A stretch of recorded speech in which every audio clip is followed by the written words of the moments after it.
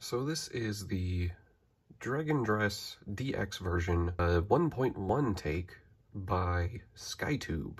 The kit looks nice. Um, the body poses very well.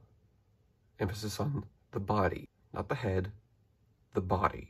The design is minimalistic, but still relatively striking. The main thing that grabs my attention is the thing that grabs everybody's attention. This uh, arm cannon dragon thing. However, it has flaws. This is probably what I would call a tell me I'm pretty model kit because it looks nice. It's nice to look at. Two sentences that mean the same thing. Um, however, it's not nice to touch and it's definitely not nice to try and move. Um, main example being the head comes off. Way too easy. Um, and that is definitely not a problem with the design of the body. That is a this kit problem. And allow me to show you why. Here is Lady Ludens, a kit created by Kotobukiya, uh, part of a cross-promotion with Kojima Studios for his game Death Stranding. Say what you want about the game, I like this design of this kit.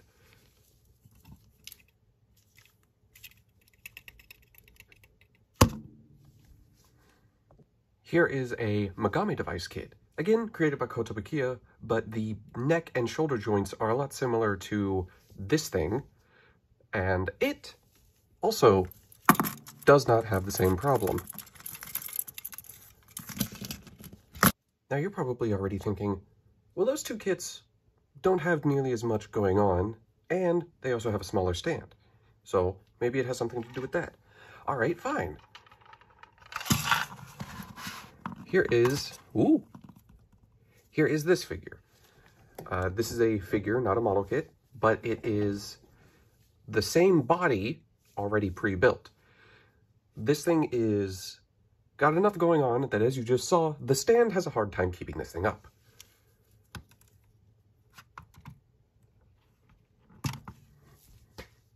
And it does not have the problem. Now, I, I could be here all day. I could swap out that heavy stand onto a smaller figure. I could put this kit on a smaller stand. I could take everything's stands off and just pick them up by themselves by their heads. But the point of the argument still stands. This connection is weak. And I guess since we're on stands, I should air my grievances about this stand. It is all right. It holds the figure up fine, just fine. The points are solid, and it is a nice stand. Um, it's nice. It's a freestand. The bottom part is probably the most impressive part because it is two separate pieces and it has these slots on the sides for you to expand and interconnect it so that as this company comes out with more model kits, it's easy to make a diorama. That is probably the stand's best attribute. Another positive I'll give this kit is the faces. While the head does not stay on, the faces are very emotive and very well done. You can see a nice blush, you can see the sort of teary eyes, the mouth has been painted, and these faces again, are nice and emotive. Very uh, lively. You could probably get some good poses out of it. Um, I'm not going to pose this thing. It also comes with a trident that has an alternate mode where you take these two pieces off, lower this section down, and it becomes, I believe, a giant crossbow. Um, again, really nice idea. This part does not click on, again, very nitpicky, but if this slides around too easily. It's probably not going to hold a pose for too long, especially not like a downward one, because now there is a way to lock it. Um, I don't fully understand how to lock it. It said something about making sure this piece is at an angle with the rest of it. Um, and I guess that's it. That's it right there. Uh, the argument's nullified. It's a good piece. Well, anyways, let's get on to the part that I've been kind of dreading. Moving it. The legs have hip posability. Very nice, very fluid. Hip armor does not get in the way. And a nice fluid knee bend. The ankle also has good posability, even has a toe bend. However, this piece, as I'm sure you can tell, is very, very loose, kind of just hanging on there. Um, not really an argument. It's not a structural piece, but it does make the kit noisy to pose, which for some people, completely fine. Some kits are just creaky and poppy. This kit, while posing it, is predominantly very silent, so you notice it. These knee pad wings have joint there, joint there, and a joint there. It's not a ratchet joint, it's just a peg, but my copy has this sort of pop lock spot.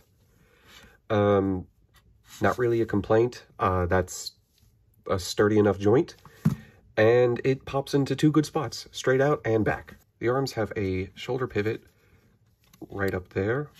This also happens.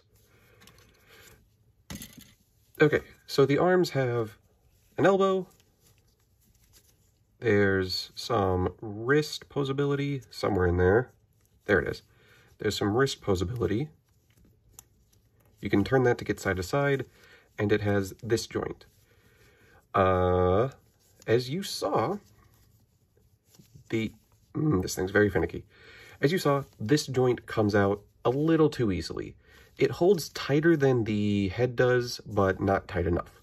Um, that's the only real ball joints outside of the body that have an issue. So it's something to do with how they design their ball joints. Oh, and also if you move the arm forward too much and you're not having it in a proper spot, you can either do that or this piece comes off. Um, this piece comes off easily for a specific reason. There's actually two separate chest pieces that you can place on here.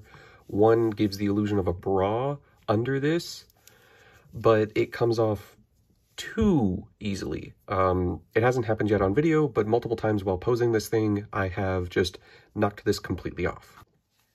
Her dragon cannon has an up jaw, bottom jaw, the tongue can, the head can come off, the tongue can extend, and the tongue can come off. Okay, so this is another small argument that I have. The head is pegged on via this peg, which is the peg holding the tongue on. So this piece is kind of sandwiched between two pieces, the tongue and that piece. This has held in there, not by a peg in that, but by this thing that came off, which sandwiches underneath this and onto that. It's sturdy enough, so long as you don't try to pull on the tongue. The head also has a pivot while it's attached. It can move up and down. The body part can pivot this way, and then it also has some up and down as well. And then the back is pivot, pivot, and then a second pivot. So the back is the most dynamic posing part of the arm cannon, which makes sense because that's where you would place it first to then place everything else to get a somewhat good pose. I would recommend gluing that peg into that socket um, and moving it until the glue sets so that the head does not come off. Um, if you have the DX version, that does make it a little weird to exchange off this piece because there's an alternate uh, piece that I'm not going to show you. Um, but depending on who you are, you're probably either going to use the tongue exclusively or the other piece exclusively. So just glue on whichever one you want. Uh, outside of that, this armor piece can uh, extend out and fold uh, for an alternate form where she's supposed to be riding this thing, which I am not going to create on screen for multiple reasons, one of them being these pieces. Just by putting them on, I have created very not nice stress marks. Um, you can also tell that as I was building this, I got tired of building it and I stopped caring about the nice cuts because that's just a thing I do. When I don't like a kit, I just start snipping it off. Um, I'll clean this up for my own purposes. Probably going to reincorporate this into something else other than that kit because um, it's still nice. It's just flawed. And then the head is on a ball joint, and the neck itself has a pivot there, which, if the head stays on, you can get some good back and forth and some nice tilts.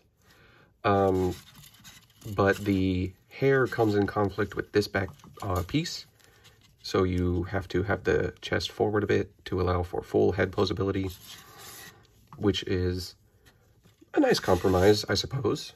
Another flaw that I've yet to address is the black part on the leg, specifically the seam right here. The art indicates that this is supposed to be a stocking of some sort, so it's supposed to be smooth and circular. The seam here creates a very visible sort of edge that you can hear. Well, you can hear when that's silent.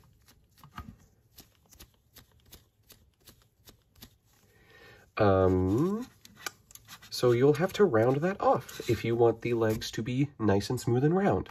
You could say that it's an armor plate of some sort, but the art indicates that it is supposed to be stockings.